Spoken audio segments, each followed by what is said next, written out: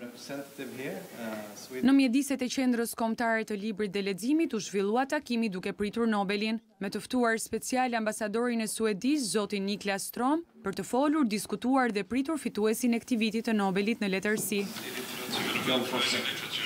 Edhe pse jo shumë i njohur jashtë vendit të tij të lindjes, Norvegjisë, autori Jon Fosse njihet ndërkombëtarisht në qarqet letrare. dhe është vlerësuar me disa çmime prestigjioze europiane. Jon Fosse është një emër i njohur i historisë së letërsisë botërore, ndaj dhe fakti që Akademia Suedeze e zgjodhi si fitues të Çmimit Nobel për vitin dy mijë e njëzet e tre nuk është i papritur për botën letrare. Ai është një emër i cili ka marrë jashtëzakonisht shumë Vlerësime. Pikë së pari jam shumë e kënaqur që në listën e shkrimtarëve për çmim Nobel është gjithmonë një autor shqiptar që quhet Ismail Kadare.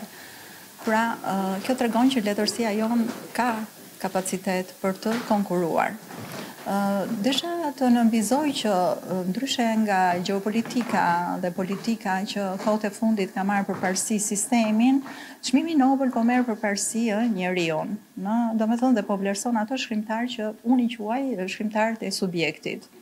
Lexuesit dhe autorët shqiptarë do të kuriozohen për të njohur penën e Fosse, por ende asnjë nga veprat e tij nuk është përkthyer në gjuhën shqipe. Duke pasur parasysh se dhe leximet e mia Jon Fosse mund të jetë përkthyer në mënyrë sporadike në në gjuhën shqipe, por nuk kemi një libër të tij në gjuhën shqipe në dijeninë time, do doja shumë që të kishte, por me siguri do e kemi shumë shpejt, sigurisht do orientohen drejt tij. Lexuesit ambiciozë që janë dhe shkrimtarë do duan të dinë se çfarë vlerësohet që të vlerësohem edhe unë etj etj. Pra, duam apo s'duam ta pranojmë një çmim është pjesë